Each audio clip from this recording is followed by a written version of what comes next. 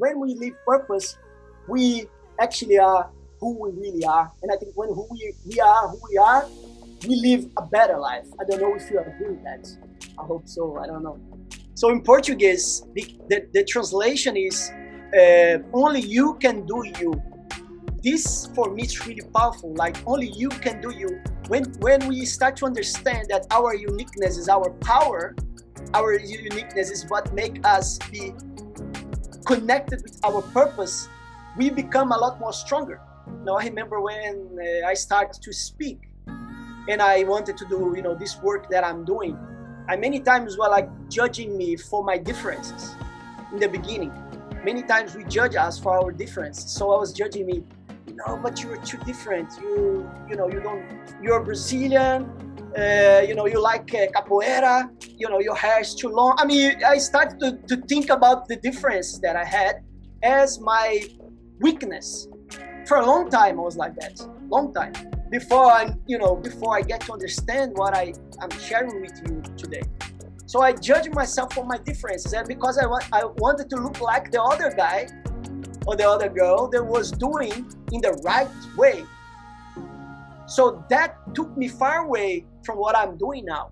So when I start to embracing my uniqueness, you know, my differences, and and using that in my favor, so that's what you should do to connect with your purpose. Your difference is your power. I also discovered that by not loving who you really are, it's actually a disservice that you that we are doing to the world. We cannot we, we cannot connect with purpose if self-love is not aligned. It's impossible. And if you don't love yourself, you cannot connect with purpose. So that's why uh, self-development is so important because you get to know who you really are. If my mom didn't met my dad, I was not gonna be alive today. It's easier for us to win the lottery than we be who we really are. You know. So this is this is kind of like this is kind of like a, a gift to ourselves when we think about that, because then we stop we stop judging ourselves. Because when we judge ourselves, we cannot connect with purpose. Understand what I'm trying to do? I'm trying to give different ways for you to connect with yourself, give you different roads to connect with purpose. You connect with your purpose and know more about you. Okay, guys, so let's go three minutes in the room.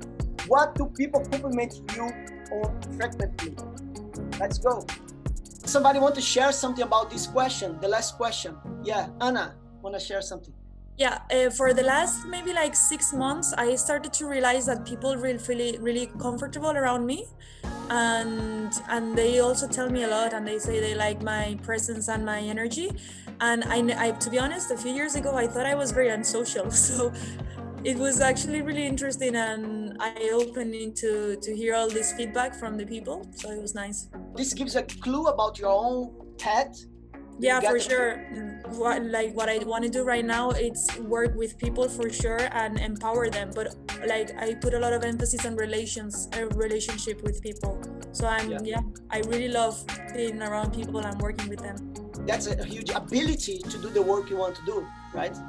Yeah yeah, yeah. i'm really happy actually so so that's that's what i mean is sometimes we you know sometimes we take for granted what people are telling us about us and that is like a clue you know.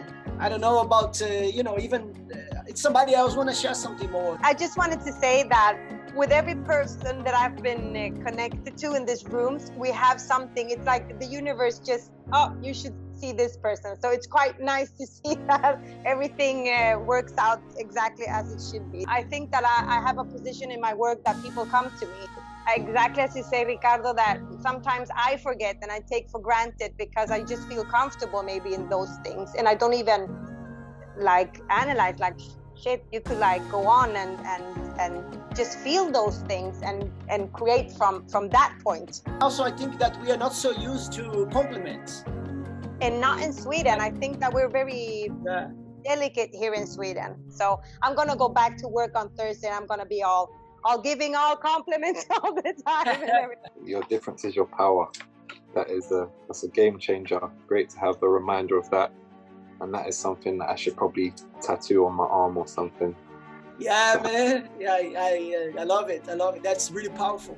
It's like Yeah. when, when we actually understand that like in a deeper level, that's a game changer, as you said. What do people compliment you frequently?